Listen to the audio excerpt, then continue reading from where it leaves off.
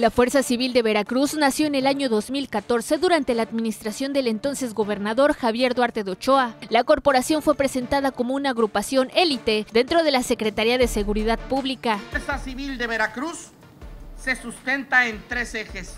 Dignificación, preparación y equipamiento. Es una institución diseñada para ser un cuerpo policiaco de alto honor y prestigio.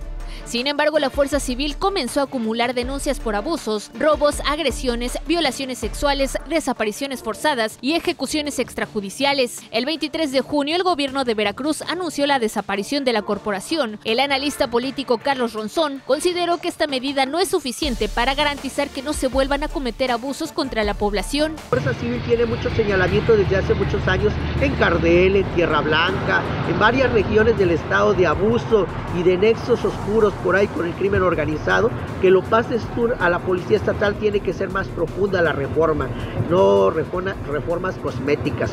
Por eso yo no creo que sirva de nada. A lo largo de 10 años se han documentado, registrado y denunciado múltiples abusos de la fuerza civil. En 2019 en Tlalixcoyan, una profesora de primaria narró que ella junto a seis personas más fueron torturadas y violadas en las inmediaciones de la comunidad de la Mixtequilla, en donde estuvieron involucrados elementos de esta policía. En 2020 golpearon y dispararon durante una protesta a habitantes de Isla, quienes pedían la salida de la corporación de ese municipio, por mencionar algunos casos de abuso. Pues que se use tecnología, no se usan drones, escáneres, no se usa, no hay ciberpolicía en el estado de Veracruz. Somos uno de los cuerpos de policía más atrasados del estado, pero no nada más son las policías estatales, también las policías municipales.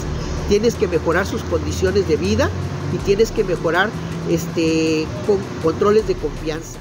Es necesaria una reestructuración profunda en las corporaciones, así como una estrategia de seguridad real, además de una depuración en todos los cuerpos policíacos, para garantizar que los elementos de seguridad cumplan con su deber, el de cuidar y proteger a la ciudadanía. Para Mega Noticias, Lisbeth Inclán.